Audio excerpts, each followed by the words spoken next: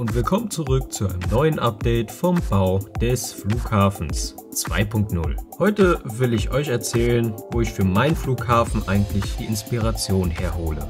Viele Ideen, die ich bei meinem Flughafen umgesetzt habe, sind nicht frei ausgedacht und auch oft mit Hilfe von anderen Personen entstanden. Demnach finde ich es eigentlich auch einfach nur fair, wenn ich heute mal diese Person in diesem Video erwähne. Ein Flughafen an sich zu bauen, dazu musste mich keiner kriegen. Seit 2010 sammle ich Modellflugzeuge und von Anfang an wollte ich für diese Modellflugzeuge einen Flughafen bauen, damit ich diese Flugzeuge eben auch vernünftig darstellen kann. Aber nun mit dem Neubau sollte das erste Mal etwas entstehen, bei dem ich mit den Bautechniken wirklich zufrieden sein kann. Und hierbei habe ich Hilfe gebraucht. Ein ganz großer und wichtiger Name war hierbei Oliver Lesicki Airport. Ob er es nun weiß oder nicht, aber er war der ausschlaggebende Grund, meinen Flughafen neu zu bauen. Mit den damaligen Gebäuden an meinem Flughafen war ich nämlich mal so gar nicht zufrieden. Ich wollte unbedingt künftig stabile Gebäude bauen, die eben auch gut aussehen. Und wenn man in die Story Highlights vom Olli schaut, dann findet man schnell, wie er seine Terminals gebaut hat. Durch ihn bin ich auf eine Spezialpappe gestoßen, mit der ich die Gebäude an meinen Flughafen umsetzen konnte. Mit einem Ergebnis, mit dem ich wirklich zufrieden bin.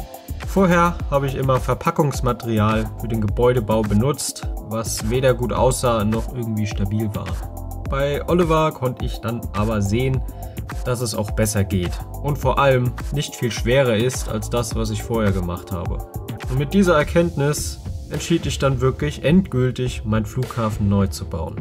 Eine weitere Inspiration waren für mich noch die Accounts Rambowings und Aviation 1 to 400 Scale. Dort trifft man auf solch eine Liebe zum Detail die ich auch sowas von gerne darstellen wollte. Aber klar, hierzu braucht es nicht nur das richtige Zubehör, sondern auch einen Flughafen, der halt gut aussieht.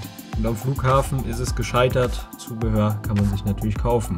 Der Ansporn war hier also direkt da, beim Neubau alles so auf die Reihe zu bekommen, sodass es auch einfach gut und realistisch aussieht. Ein ganz praktischer Faktor war hierbei aber auch noch, dass Rambowings selber eigenes Flughafenzubehör verkauft, das sich mit dem Zubehör von Herper halt super ergänzt. Und natürlich habe ich dann über die Zeit bei ihm auch fleißig eingekauft. Das Zeug ist wirklich verdammt gut, kann ich nur empfehlen. Ein weiterer jemand, der mir sehr half, war die Person, die hinter dem Account Bern International Airport steckt. Ich hatte vor dem Neubau noch nie auf diese Art und Weise mit Farbe hantiert. Welche Farbe sich hierfür eignet, beziehungsweise wie ich an die Farben herankomme, das war mir noch ziemlich unklar. Das Einzige, was ich wusste, ist, dass ich verschiedene Grautöne gebraucht hätte. Und das in matter Farbe. Ich durchstöberte mehrere Baumärkte, aber meist fand ich nur einen einzigen Grauton. So kam ich zu keinem Ergebnis. Und da eilte Bern zu Hilfe. Er gab mir ein paar Tipps, wie er das Ganze bei sich gelöst hatte und verriet mir auch, dass man sich die Grautöne mit weißer und schwarzer Farbe problemlos zusammenmischen kann. Diese Herangehensweise, die half mir wirklich sehr. Und so etwas kann ich wirklich jedem empfehlen, der anstrebt, einen eigenen Modellflughafen zu bauen. Sich von anderen Leuten inspirieren zu lassen und etwas Neues zu schaffen, ist eine tolle Sache. Doch man sollte abwägen können, ob man gerade jemanden kopiert oder eigene Kreativität zeigt. Niemand hat etwas gegen Inspiration. Nur indem man andere Personen kopiert, macht man sich eventuell etwas unbeliebt. Demnach macht euer eigenes Ding und erschafft etwas Neues. Das ist der beste Weg, den man wählen kann. Und mit diesen Worten haben wir das Ende von diesem Update erreicht.